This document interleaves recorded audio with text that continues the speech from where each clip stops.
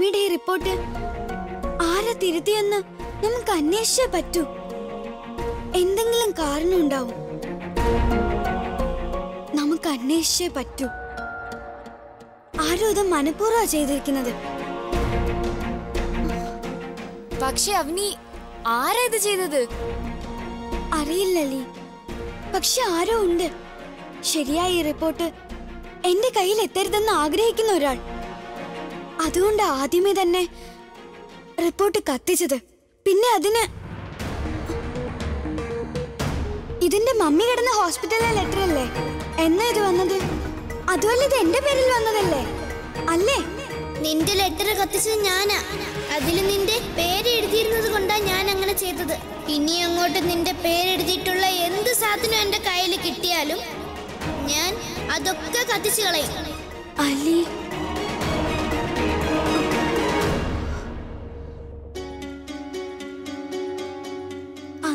ദിവസം ശ്രേയ എന്നോട് പറഞ്ഞു ഈ റിപ്പോർട്ട് അവളാണ് കത്തിച്ചതെന്ന്. പക്ഷെ ആക്ച്വലി ആ റിപ്പോർട്ട് അവളല്ല കത്തിച്ചത്. അത് ചിലപ്പോ മിസ്സസ് വർമ്മയെ രക്ഷിക്കാൻ വേണ്ടിയായിരിക്കും അങ്ങനെ പറഞ്ഞത്. അങ്ങനെയാവുമ്പോ മിസ്സസ് വർമ്മ തന്നെയാണ് ഇത് കത്തിച്ചത്. ഒന്നും മനസ്സിലാവുന്നില്ല. എനിക്കൊന്നും മനസ്സിലാവുന്നില്ല. ഡാ അലി മിസ്സസ് വർമ്മ ഇതിന്റെ അർത്ഥം ഇതെല്ലാം മിസ്സസ് വർമ്മ ചെയ്യിച്ചെന്നാണോ? ഞാനൊന്നും ചെയ്തിട്ടില്ല. ഇതെന്തിനാ? ഞാനൊന്നും ചെയ്തിട്ടില്ല. അത് അതൊരു ആക്സിഡന്റ് ആയിരുന്നു. ഞാനൊന്നും ചെയ്തിട്ടില്ല. അലി അന്ന് പോലീസ് വീട്ടിൽ വന്നപ്പോൾ അപ്പൊ മിസ്സസ് വർമ്മയുടെ പെരുമാറ്റം കുറച്ച് ഡിഫറെന്റ് ആയിരുന്നു. അവർ അന്ന് കരുതിയത് അതായത് പോലീസ് അവരെ ആക്സിഡന്റ് കേസിന് പിടിക്കാൻ വന്നെന്നാ. പക്ഷെ അവർ എന്നെ രക്ഷപ്പെടുത്താനാ വന്നത്. അവനി നിനക്ക് ഉറപ്പുണ്ടോ? ഇതെല്ലാം അവരാണ് ചെയ്തതെന്ന്? ഇല്ലലി നല്ല ഉറപ്പൊന്നുമില്ല. പക്ഷെ ഇപ്പൊ സംശയമുണ്ട്. നമുക്ക് അന്വേഷിച്ചേ പറ്റൂ.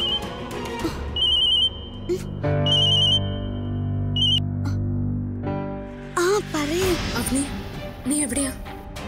പെട്ടെന്ന് വീട്ടിലേക്ക് വാ. നോക്ക് അമ്മ എപ്പോ വേണേലും വരാം. പെട്ടെന്ന് വാ ഓക്കെ?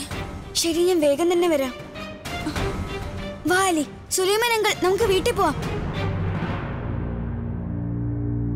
ചിലപ്പോ ആശയും ഇതുപോലെ ശ്വാസം എടുക്കാൻ ബുദ്ധിമുട്ടിയിട്ടുണ്ടാവുമല്ലേ ആ സമയത്ത്? നീ ഒന്നും മിണ്ടാതിരിക്കാൻ എന്ത് വേണം? ഈ ലോകത്തോട് മുഴുവൻ വിളിച്ചു പറയോ? നിന്നെ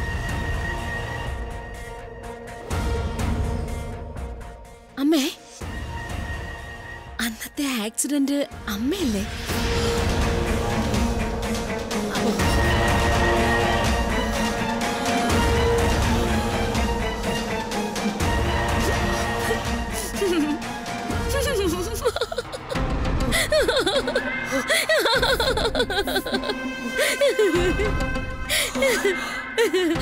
അമ്മയ്ക്കറിയോ? കുട്ടിക്കാലത്ത് അമ്മയ്ക്ക് ദേഷ്യം വരുന്ന സമയത്തെ ഞാൻ ഒരുപാട് ഭയന്നിരുന്നു. കാരണം നമ്മയുടെ മുഴുവൻ ദേഷ്യവും എന്റെ പുറത്താ തീർത്തുകൊണ്ടിരുന്നത് പക്ഷെ ഇന്ന് അമ്മ ഇത്ര ദേഷ്യത്തിൽ കാണുമ്പോ ഐം സോറി പക്ഷെ എനിക്ക് നല്ല ചിരി വരുന്നുണ്ട്. നീ മിണ്ടാതിരുന്നോ? അല്ലെങ്കിൽ എന്റെ കയ്യിൽ നിന്ന് നല്ല തല്ല് മേടിക്കും. സോറി അമ്മേ. ഇനി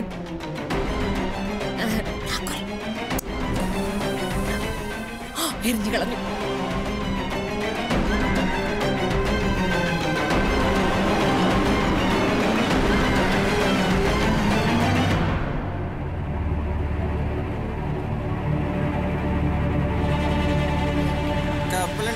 കപ്പലണ്ടി. ചേച്ചി കപ്പലണ്ടി എടുക്കട്ടെ ചേച്ചി? നല്ല കപ്പലണ്ടിയാ ചേച്ചി പത്ത് രൂപ ഉള്ളൂ. പോകാൻ.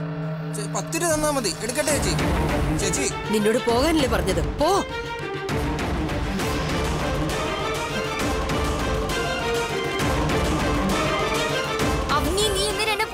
വിളിച്ചത്? നിന്റെ ഈ പ്രവൃത്തി കണ്ട തോന്നുമല്ലോ നീ ആ രാജേശ്വരി വർമ്മയെ കണ്ടിട്ടാണ് ഇങ്ങനെ ചെയ്തതെന്ന്. മിസ്സസ് വർമ്മ അടുത്ത് തന്നെ ഉണ്ട്. മുകളിലൂടെ നോക്ക്.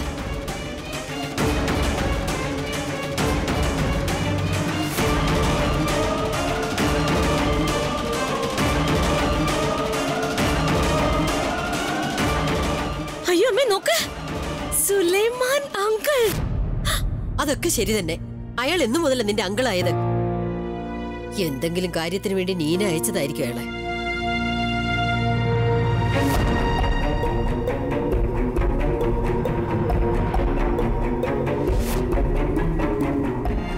പുറകിൽ ആരാ ഇരിക്കുന്നത്?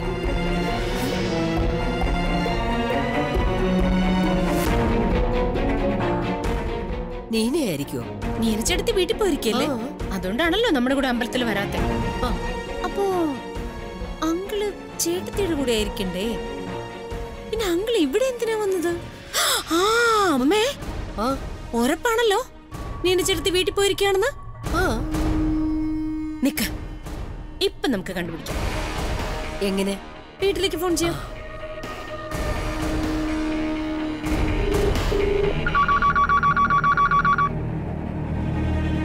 ഹലോ?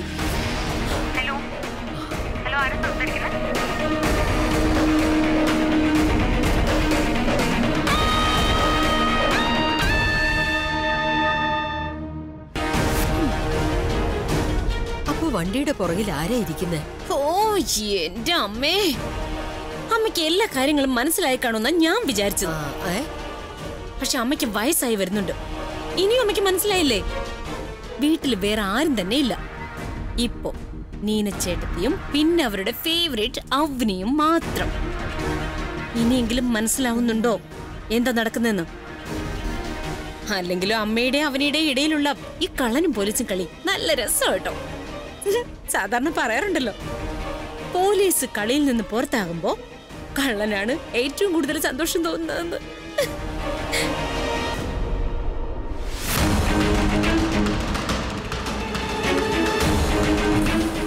നമസ്കാരം.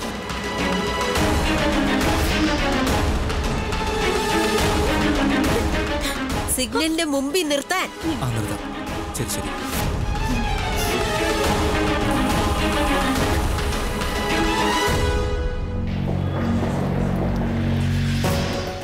സുലൈമാൻ അങ്കിൾ. ഞങ്ങൾ രണ്ടുപേരും കാരണം അങ്കിൾ ഞങ്ങളുടെ കുടുങ്ങിയല്ലേ? എന്നെ ഓർത്ത് വിഷമിക്കണ്ട മോളെ.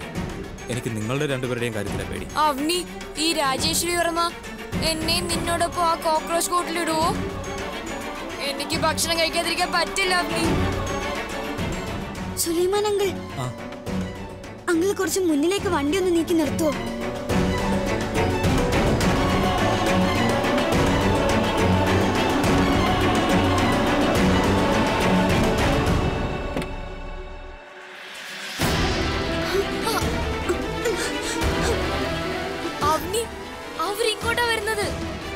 നമുക്കിനി ഓടാനും പറ്റില്ല. ഇനി എന്ത് ചെയ്യാം നീ നമ്മൾ പിടിച്ചത് തന്നെ. നിക്ക് ഞാൻ അല്പനേരം തടഞ്ഞു നിർത്താം. ഓക്കെ. എന്തു മാറി നിക്ക്. അത്യാവശ്യം വല്ലതും? എനിക്ക് വണ്ടിയിലൊന്നും നോക്കേണ്ട കാര്യമുണ്ട്. ആരാ വണ്ടിയിൽ ആരുമില്ല. പിന്നെ നീ എന്തെന്റെ മുമ്പിൽ നിന്ന് മാറാത്തത്? മാറി നിൽക്ക്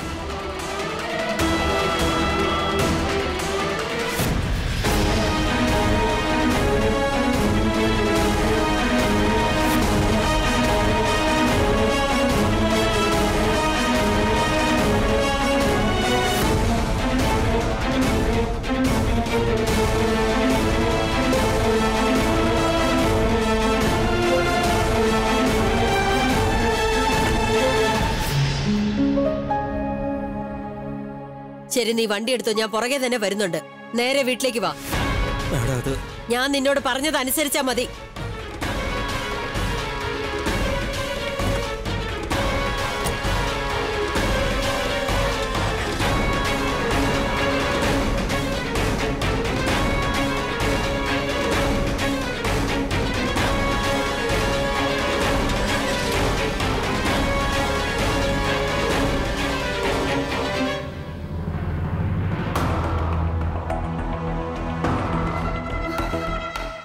രക്ഷപ്പെട്ടു.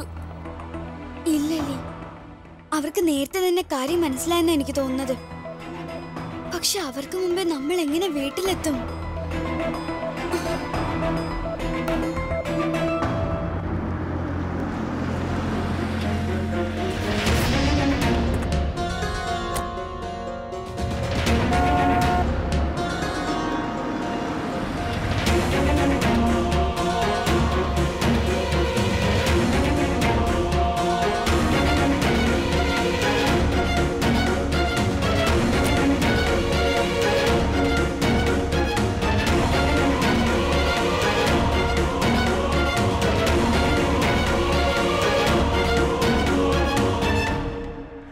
ചേട്ടത്തി അയ്യോ ചേട്ടത്തി.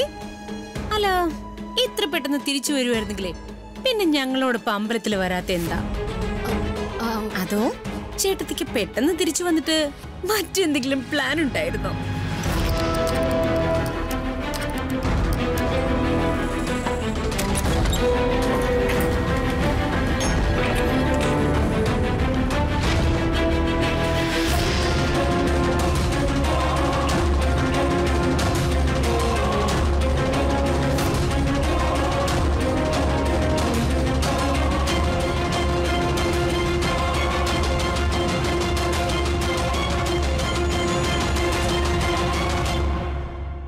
ആ ലോക്ക് എടുത്ത് ഡോറ് പൂട്ടിയേക്ക്.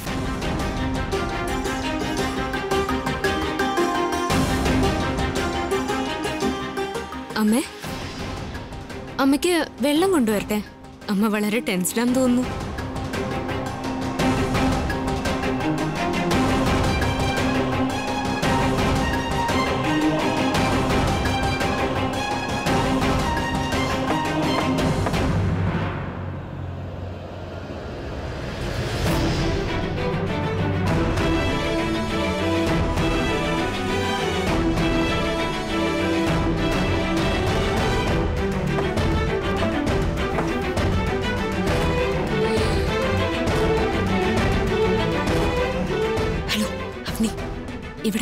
നമ്മൾ പ്ലാൻ ചെയ്ത പോലെ തന്നെ നടന്നു.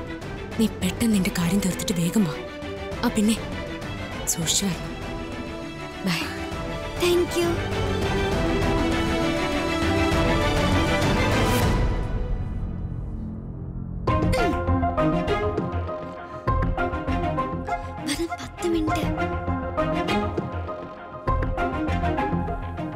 Parameshwara. Sir. രണ്ട് ബർഗർ വാങ്ങിക്കൊണ്ടോ? ശരി മോളെ പറയേ. വീണ്ടും എന്താ ഇങ്ങോട്ട് വന്നത്? മോളുടെ മമ്മിക്ക് എങ്ങനെയുണ്ട് അങ്കിൾ എന്റെ മമ്മി മമ്മി ഇപ്പൊ ജീവനോടെ ഇല്ല.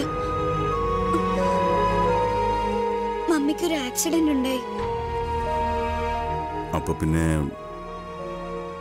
ഇങ്ങോട്ട് എന്തിനാ വന്നത് മോളെ? അങ്കിൾ ഞാൻ എന്റെ മമ്മിക്ക് വേണ്ടി അവിടെ വന്നത്. കഴിക്കും.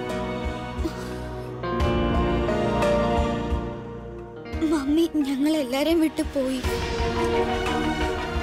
പക്ഷെ എനിക്ക് തോന്നുന്നത് എന്റെ മമ്മി ഞങ്ങളെ വിട്ട് പോകാനുള്ള കാരണം ആക്സിഡന്റ് ആയിരുന്നില്ല. ശരിക്കും മറ്റെന്തോ ആയിരുന്നു പക്ഷേ നിനക്കെന്താ അങ്ങനെ തോന്നാൻ? ഞാൻ അങ്കിളിന് പറഞ്ഞു തരാം.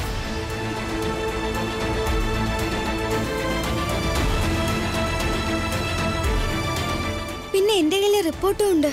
ഞാൻ ഇപ്പൊ അങ്കിളിന് കാണിച്ചു തരാം. ഇത്.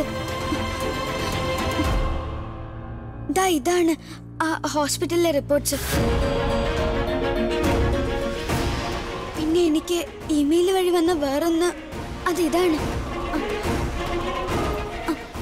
ഇത് നോക്കങ്കൾ വളരെ ഡിഫറെന്റ് ആയ റിപ്പോർട്ടാണ്. ആന്റി എനിക്ക് നേരിട്ട് തന്നത്. പിന്നെ ഈ മെയിൽ വഴി വന്ന റിപ്പോർട്ടിലും നല്ല വ്യത്യാസമുണ്ട്. എനിക്ക് മിസ്സസ് രാജേശ്വരി വർമ്മയ്ക്കെതിരെ കേസ് ഫയൽ ചെയ്യാൻ പറ്റുമോ അങ്കിൾ? അവർക്കെതിരെ എങ്ങനെയാ കേസ് ഫയൽ ചെയ്യാൻ മോളെ?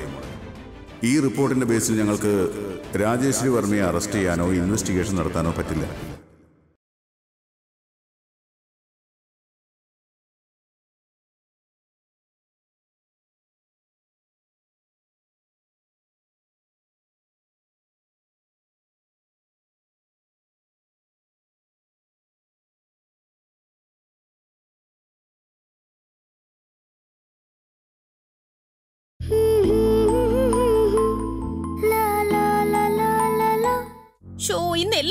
തലതിരിഞ്ഞു പോയല്ലോ അമ്മേ. അമ്മ കരുതിയത് ആ കുട്ടിയെ പുറത്തു വെച്ച് കാണുമെന്നും അങ്ങനെ അവളെ കൈയോടെ പിടികൂടാന്നു അല്ലേ പക്ഷെ അകത്ത് തന്നെ ഉണ്ടായിരുന്നു. ഈയിടെയായിട്ട് അമ്മയുടെ എല്ലാ പ്ലാനും ഫ്ലോപ്പ് ആവുക. അല്ലേ അമ്മേ? ഇരിക്കെ. ഇവിടെ ഇരുന്നോ. എന്താ? ശബ്ദിച്ചു പോവരുത്. നിനക്ക് നല്ല ഉറക്കത്തിന്റെ കുറവുണ്ട്.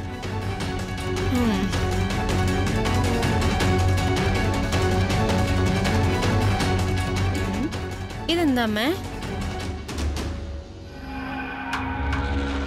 നീ ഒരുപാട് സംസാരിക്കല്ലേ? വേണ്ട വേണ്ട വേണ്ട പ്ലീസ് ഈ മരുന്ന് നല്ല കയ്പ. നിന്റെ നാവിന്റെ അത്ര കയ്പൊന്നും കാണില്ല. വേണ്ട.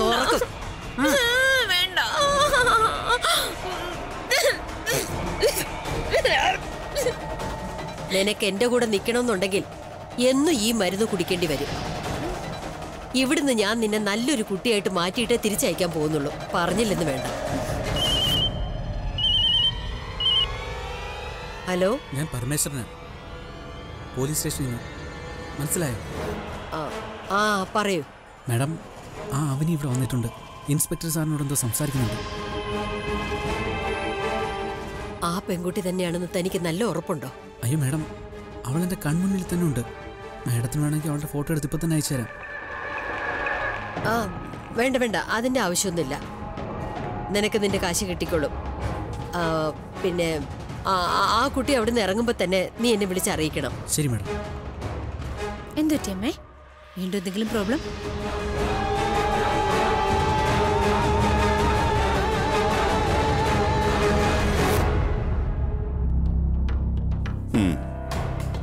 രണ്ട് റിപ്പോർട്ട്സും ഞാൻ നോക്കി. ഇനി നിനക്ക് എന്തെങ്കിലും പറയാനുണ്ടെങ്കിൽ പറയും. ആരെങ്കിലും സംശയമുണ്ടോ? ആരാ ഇതൊക്കെ ചെയ്തതെന്ന്? Yes uncle. എനിക്ക് മിസ്സസ് രാജേശ്വരി വർമ്മയെ നല്ല സംശയമുണ്ട്. ചിലപ്പോ ഇതിന്റെ എല്ലാം പിന്നിൽ അവരുടെ കൈകളായിരിക്കും. എനിക്ക് മിസ്സസ് രാജേശ്വരി വർമ്മക്കെതിരെ കേസ് ഫയൽ ചെയ്യാൻ പറ്റുമോ അങ്കിൾ? അവർക്കെതിരെ എങ്ങനെയാ കേസ് ഫയൽ ചെയ്യാൻ മോളെ? ഈ റിപ്പോർട്ടിന്റെ ബേസിൽ ഞങ്ങൾക്ക് രാജേശ്വരി വർമ്മയെ അറസ്റ്റ് ചെയ്യാനോ ഇൻവെസ്റ്റിഗേഷൻ നടത്താനോ പറ്റില്ല. ഇതൊരു സോളിഡ് പ്രൂഫ് അല്ല. ഇത് വെച്ചുകൊണ്ട് ഞങ്ങൾക്ക് ഒരിക്കലും പറയാനും കഴിയില്ല മോളുടെ മമ്മിയോട് അവരെന്തെങ്കിലും തെറ്റ് ചെയ്തിട്ടുണ്ടെന്ന്. പക്ഷേ ഞങ്ങൾ ഈ തെറ്റായ റിപ്പോർട്ടിനെ പറ്റി എന്തായാലും ഒരു അന്വേഷണം നടത്താം. ഡോക്ടർ എന്താ പറയുന്നത് നോക്കാം.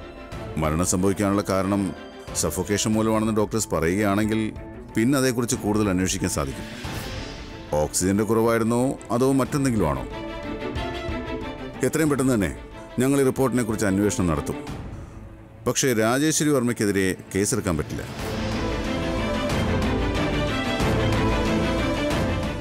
നോക്കുമ്പോളെ നമുക്ക് രാജേശ്വരിക്കെതിരെ കേസ് ഫയൽ ചെയ്യാൻ പറ്റില്ല. ഇനി ഒരുപക്ഷെ ഈ കേസിൽ അവർക്ക് ഇൻവോൾവ്മെന്റ് ഉണ്ടെങ്കിൽ അത് പുറത്തു വന്നിരിക്കും. പോലീസിൽ നിന്നൊന്നും ഒളിക്കാൻ പറ്റില്ല. എന്തായാലും മോളുടെ മമ്മിയുടെ മരണത്തിന്റെ ശരിയായ കാരണം എന്താണെന്ന് പുറത്തു വന്നു കഴിഞ്ഞാൽ പിന്നെ ഈ ഫേക്ക് ഇമെയിൽ ആരാ അയച്ചതെന്ന് മനസ്സിലായാൽ ആ ആൾ എന്തായാലും നിയമത്തിന്റെ പിടിയിലാവും. അപ്പോൾ ഞങ്ങൾക്ക് അയാൾക്കെതിരെ തെളിവുകൾ നിരത്താനാവും. ഇനി ഈ കേസിൽ രാജേശ്വരി വർമ്മയുടെ ഇൻവോൾവ്മെന്റ് ഉണ്ടെങ്കിൽ പിന്നെ അവരെ ആർക്കും രക്ഷിക്കാനാവില്ല. It's my promise okay thank you God bless you uncle Vile Parle ഈസ്റ്റിൽ പോവോ? അങ്കിൾ എന്നെ എവിടേക്കാ കൊണ്ടുപോകുന്നത്? ഇതെന്റെ വീട്ടിലേക്ക് പോകാനുള്ള വഴി അല്ല അങ്കിൾ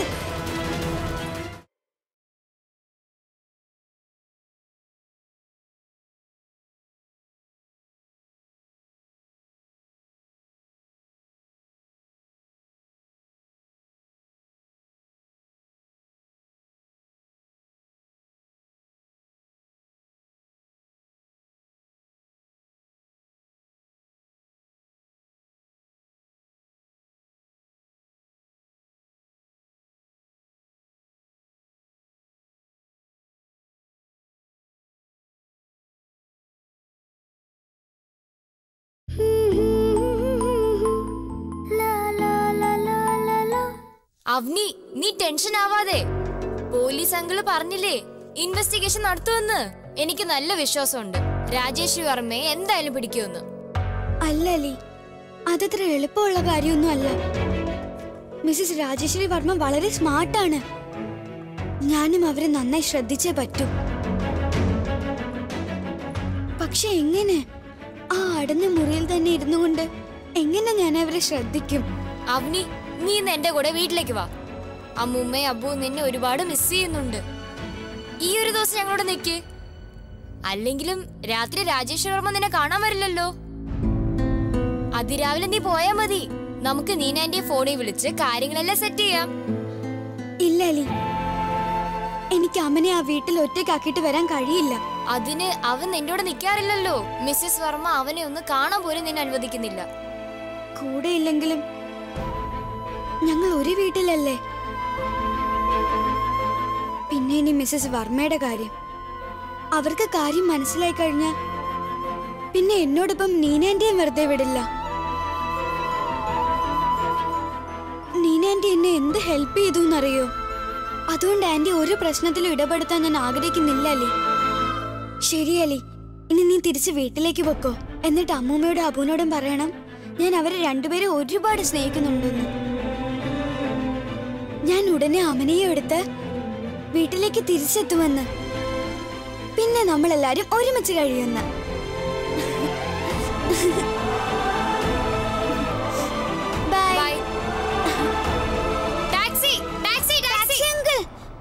ശിവാജി പാർക്ക്.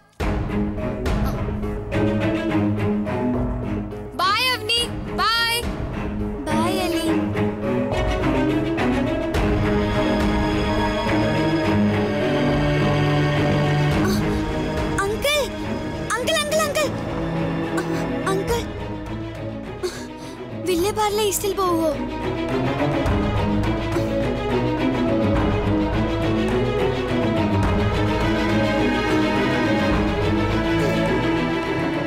പോകാം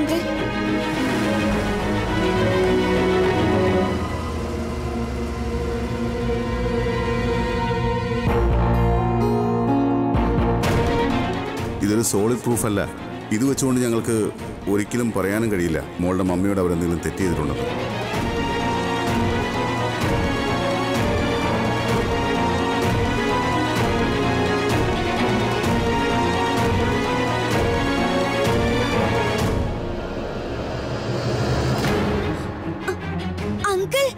എന്റെ വീട്ടിലേക്കുള്ള വഴി ഇതല്ല. എനിക്ക് ഈസ്റ്റിലേക്കാ പോകേണ്ടത്. അങ്കിൾ കൊണ്ടുപോകുന്നത്? ഇതെന്റെ വീട്ടിലേക്ക് പോകാനുള്ള വഴി അല്ല അങ്കിൾ! അങ്കിൾ അങ്കിൾ പറയുന്നത് കേക്ക് ഇതെന്റെ വീട്ടിലേക്കുള്ള വഴി അല്ല